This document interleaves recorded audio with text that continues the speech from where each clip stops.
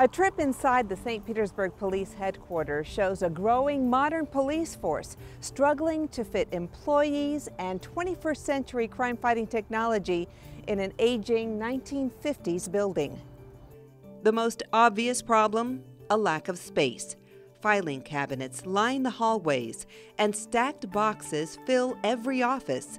Even in the narcotics holding area, drugs reach the ceiling, waiting for disposal. During his recent State of the City address, Mayor Rick Kriseman mentioned his initial tour after taking office. What we saw was a building that had been neglected, that lacks sufficient space, that can't withstand even a minor hurricane, a building not worthy of the men and women who work there. Mismatched desks cram rooms, and exposed wires and cables hang everywhere.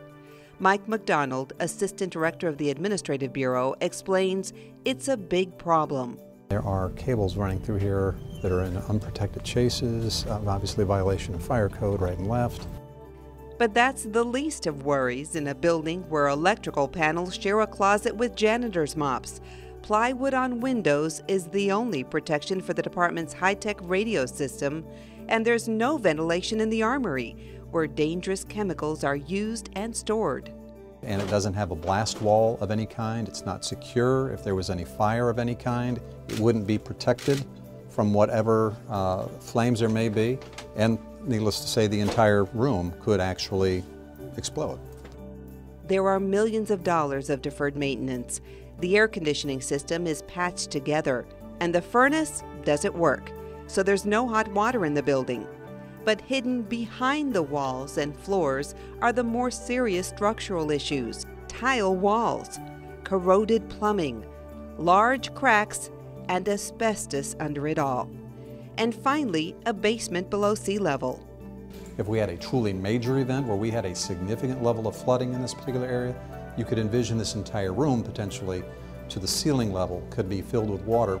Washing away the entire property and evidence area.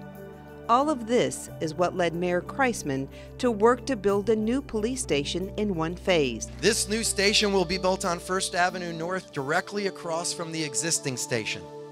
It will be energy efficient, strong enough to withstand at least a Category 4 storm, and will serve our community for 70 or more years.